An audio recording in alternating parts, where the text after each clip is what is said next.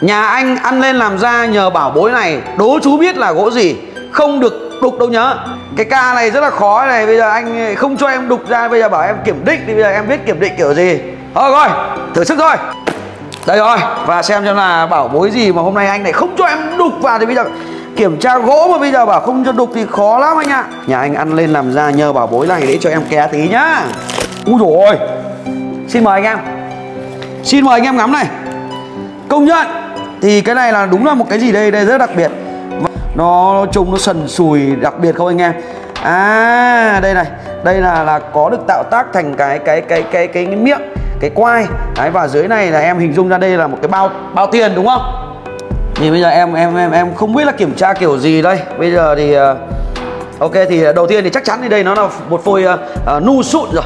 Bởi anh em mình nhìn thấy đây đây. À, anh em sẽ nhìn thấy là đây là nó rất là sần sùi đúng không? Đấy nó sần sùi sần sùi sần sùi đây. Những cái đường nhát sần sùi. Đấy, và đằng sau đây là lõi gỗ nhá. Đằng sau đây là lõi gỗ có cái màu đỏ đen này. Đấy còn đây là phần uh, rác gỗ. Phần rác gỗ nó sẽ có màu trắng ngào vàng và nó sần sùi đây.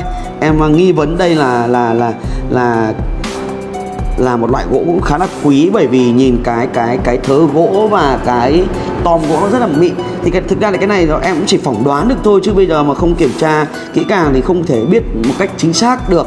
Đấy thì như ở đây nó có cái vân tia như ở, ở bên khe này thì nó có một cái vân uh, tia trong cái cái cái màu tông nền đỏ.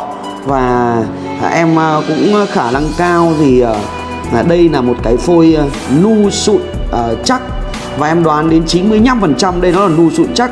À, bởi vì cái màu rác của gỗ chắc thì nó có màu cái kiểu ờ, à, trắng trắng ngà vàng đục đục như thế này.